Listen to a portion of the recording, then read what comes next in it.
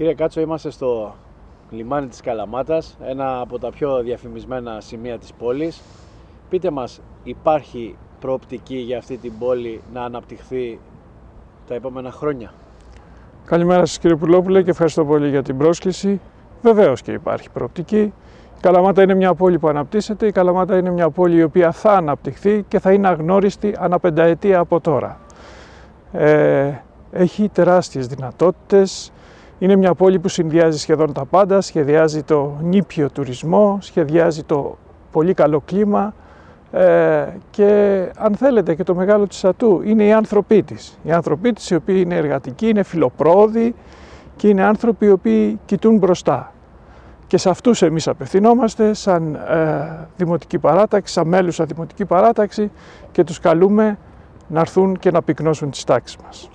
Παρ' όλα αυτά πρόσφατα είχαμε ένα δυσάρεστο περιστατικό, ένα έθιμο, προκάλεσε το θάνατο ενός συναδέλφου μας και μια γενικότερη συζήτηση για το τι πρέπει να γίνει σχετικά με το Σαΐτο Πόλεμο.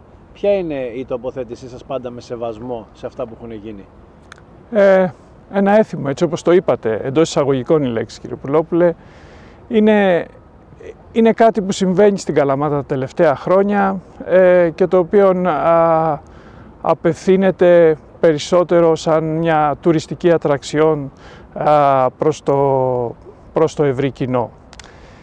Ύστερα από αυτό το πολύ λυπηρό γεγονός που έγινε και θα πρέπει να σας πω ότι είχα και το θλιβερό καθήκον εγώ σαν υπεύθυνος της εφημερίας εκείνη την ημέρα στο νοσοκομείο να υποδεχθώ τον, τον νεκρό και ήταν πράγματι μια πολύ δύσκολη στιγμή γιατί από την μια μεριά δεν μπορούσαμε να κάνουμε τίποτα και από την άλλη θα έπρεπε να το ανακοινώσουμε και στους συγγενείς τους Ας το αφήσω όμως αυτό για να σας πω ότι ε, θα πρέπει να το εξετάσουμε από μηδενική βάση το θέμα.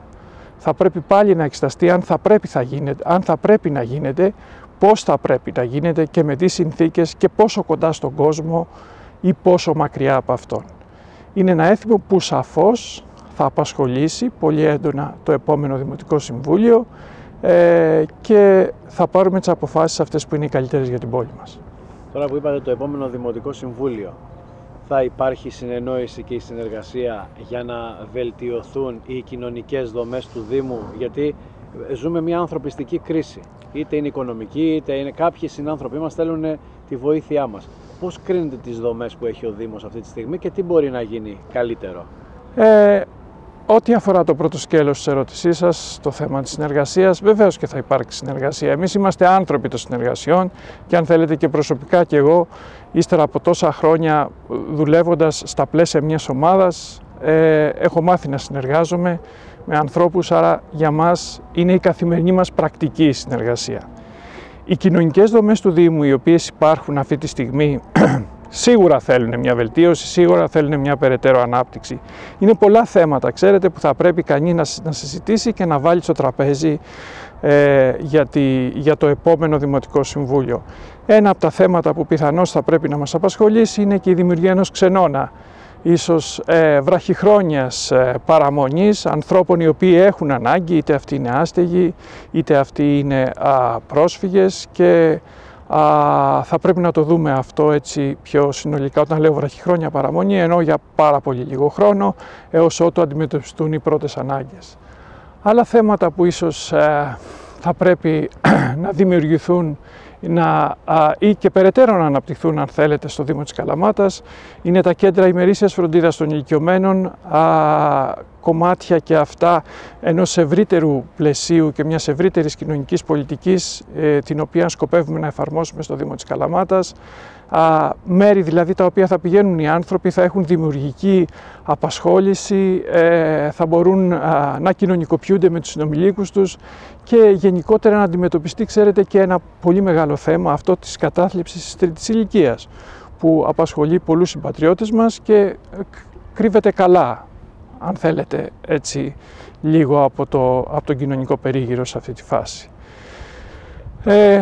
Τα στατιστικά, να βοηθήσω λίγο τη σκέψη σας, δείχνουν ότι η Καλαμάτα είναι και μια πόλη που ο πληθυσμός της γυράσκει και φθήνει.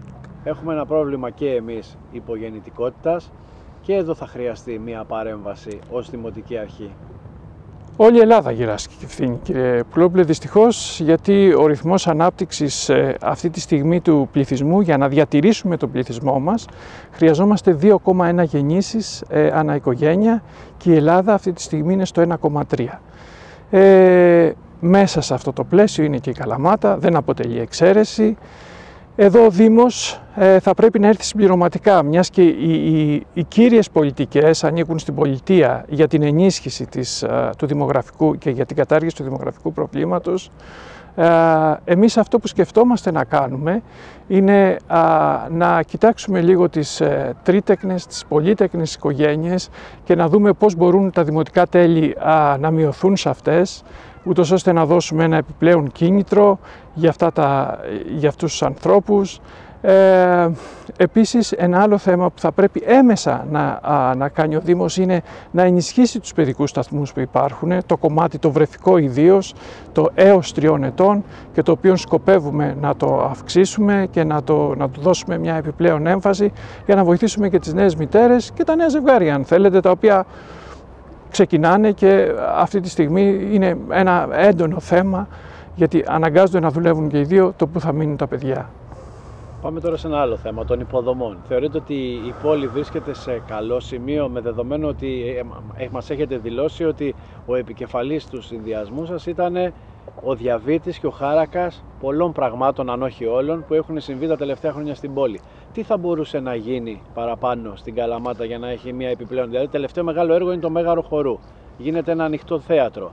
Τι, ποια άλλη δομή θα μπορούσαμε να φιλοξενήσουμε ώστε να ανέβουμε και άλλο επίπεδο ως προορισμός και για τη βελτίωση της καθημερινότητας του πολίτη; Ε, κοιτάξτε, αυτό είναι, είναι στα πλαίσια μιας γενικότερης πολιτικής που πρέπει να ασκήσει ο Δήμος, η οποία περιλαμβάνει α, ε, τρεις επιμέρους παράγοντες. Ε, το ένα είναι η, η ενίσχυση του πολιτισμού όπως αναφέρατε διαμέσου αυτών των οποίων έχουν γίνει και που σχεδιάζονται να αναπτυχθούν ακόμα περισσότερο. Ε, το άλλο είναι, το δεύτερο κομμάτι είναι η πρωτογενής παραγωγή η οποία πρέπει να μπει και σας τα αναφέρω όλα αυτά κύριε Πουλόπουλε γιατί το ένα ε, συμπλέκεται με το άλλο και τα δύο αυτά μαζί δημιουργούν τις συνθήκες για να αναπτυχθεί και να μπορέσει να προχωρήσει μπροστά η πόλη. Υπάρχουν ιδέες, υπάρχουν ιδέες για όλα τα κομμάτια, για τον πολιτισμό, για την πρωτογενή παραγωγή, για την ανάπτυξη, για τις υποδομές της πόλης, τις οποίες εμείς ε, θα τις προχωρήσουμε ακόμα περισσότερο. Έχουν γίνει πράγματα, ξέρετε, για τις υποδομές της πόλης. Έχουν, αυτή τη στιγμή έχουν φτιαχτεί περί, τα, περίπου τα 230 χιλιόμετρα ασφαλτοστρωμένων δρόμων και μιλάω για, το, για την περιοχή του Δήμου Καλαμάτας, για, τις, για τους αγροτικούς δρόμους και όλα αυτά, τους οποίους θα αναπτύξουμε ακόμα περισσότερο ε, και πλήστα όσα άλλα τα οποία μπορούμε και θέλουμε, έχουμε τη δύναμη, τη γνώση για να παρέμβουμε. Πάμε τώρα στην καθημερινότητα του Δημότη. Ποιες παρεμβάσεις θεωρείτε ότι πρέπει να γίνουν για να βάλουμε στο τραπέζι και το κυκλοφοριακό; Υπάρχει μια μελέτη, θεωρώ ότι πρέπει να γίνει μια επικαιροποίηση, μια καινούρια, γιατί πλέον τις ημέρες των εορτών, τις αργίες, η πόλη είναι απροσπέλαστη. Υπάρχει ένα σοβαρό πρόβλημα.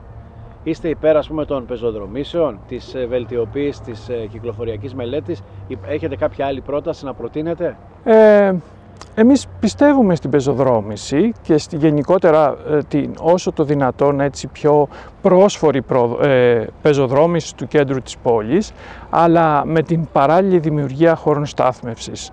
Ξέρετε, είναι, είναι δύο πράγματα που είναι σε μια ισορροπία και σε μια ζυγαριά. Το ένα δεν πάει χωρίς το άλλο. Ναι, μεν θέλουμε πεζοδρόμους, θέλουμε τους ανθρώπους να περπατάνε, τα εμπορικά καταστήματα να λειτουργούν, ε, χωρίς πρόβλημα, αλλά από την άλλη μεριά θα πρέπει κανείς να σκεφτεί ότι οι άνθρωποι έχουν αυτοκίνητα, οι άνθρωποι έχουν μέσα μετακίνησης και θα πρέπει με κάποιο τρόπο, ειδικά αυτοί που έρχονται στο κέντρο της Καλαμάτας, να μπορούν να τα βολέψουν. Υπάρχει ένας σχεδιασμός αυτή τη στιγμή για την περαιτέρω αύξηση των δημοτικών πάρκινγκ όσο μπορεί να γίνει από, τον, από, τα, από τα στενά πλαίσια που μας δίνει η, η ρημοτομία της πόλης ε, και ήδη θα προχωρήσουμε ε, όσο μπορούμε περισσότερο στη, στην πεζοδρόμηση. Και κάτι τελευταίο, είμαστε στην τελική ευθεία για τις εκλογές, είστε κάθε μέρα με κόσμο, συναναστρέφεστε και επαγγελματικά ως ιατρός και ως ε, ε διεκδικητής της ψήφου του κάθε δημότη. Πώς βλέπετε υπάρχει ενδιαφέρον, σας ακούει ο κόσμος, σας προτείνει πράγματα; Ε, ο κόσμος ακούει. Ο κόσμος ακούει αρκεί να ε, ακούει και προτείνει και λέει πράγματα ε, αρκεί να μπορείς να τον αφουγκράζεσαι κύριε, Δημόπουλε, κύριε Πουλόπουλε. Εμείς ε, πηγαίνουμε κάθε μέρα, κάθε μέρα επισκεφτόμαστε μέρη που συχνάζουν άνθρωποι, έχουμε επαφή με τους δημότες και με τους πολίτες, τους ακούμε, τους αφουγκραζόμαστε. Αυτό που μπορούμε να τους υποσχεθούμε είναι, και εγώ προσωπικά και ο συνδυασμός μας, είναι ότι την επόμενη μέρα θα μας βρουν εκεί, θα μας βρουν δίπλα τους, θα μας βρουν κοντά τους και ε, θα μας βρουν ανθρώπους οι οποίοι θα δουλέψουμε για αυτούς. Θα εργαστούμε για αυτούς όπως έχει κάνει ο καθένας μας μέχρι τώρα ε, στα προηγούμενα χρόνια.